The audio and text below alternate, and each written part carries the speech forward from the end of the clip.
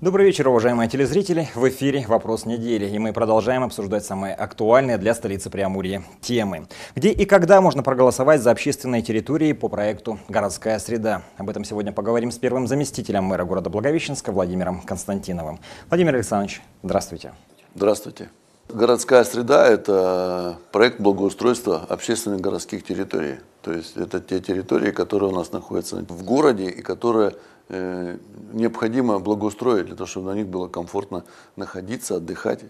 Вот. В прошлом году мы уже одну территорию такую обустроили по этому проекту. Это набережная реки Амур э, от улицы Святителя Иннокентия до улицы Пионерской с устройством детской площадки.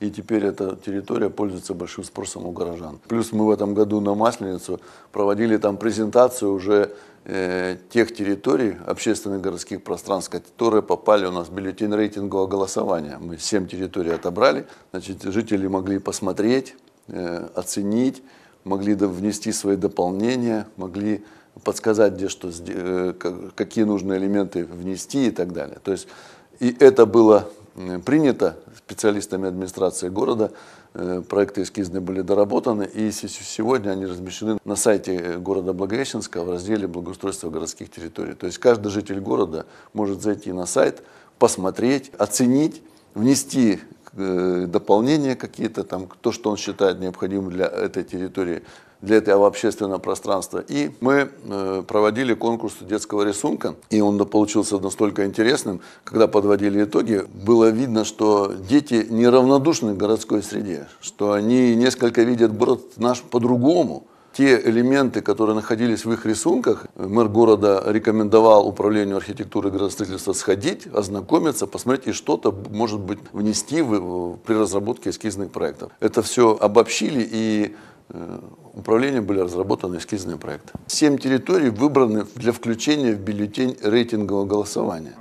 Это сквер около магазина ОТДО, это сквер Бабочка, это парк Дружбы, это площадь Ленина, это сквер вот в районе старой мебельной фабрики, это сквер по переулку Крестьянского между улицей Мухина и улицей Комсомольская, это сквер новый, который мы разбили в прошлом году по улице Зеленая 30, это 800 квартал, за Чигиринкой туда. Жители предложили расширить несколько этот сквер. Наши архитекторы города, администрации города поддержали с площадкой для выгула собак туда к реке Чигиринка. Проголосовали Голосовать можно будет 18 марта э, на избирательном участке. Мы открываем э, пункты для голосования, открытого голосования, значит, где будут размещены э, все эскизные проекты общественных городских территорий, которые вошли в бюллетень рейтингового голосования. Будет бюллетень с этими территориями, будут находиться урны для голосования и для того, чтобы каждый житель города мог высказать свою общественную позицию по отношению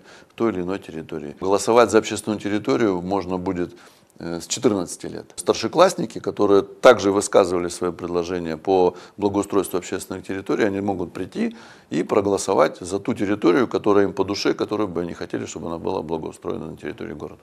Специалисты, которые будут находиться, они будут готовы дать консультации по каждому эскизному проекту. Они будут готовы рассказать, как проголосовать. Владимир Александрович, спасибо за исчерпывающий ответ. А нашим телезрителям я напоминаю, что задать свой вопрос городским властям может каждый на аккаунте администрации Благовещенском Инстаграм, позвонив по телефону в телекомпанию «Город» или просто написав нам по электронной почте. Это был «Вопрос недели». Всего вам доброго и до встречи.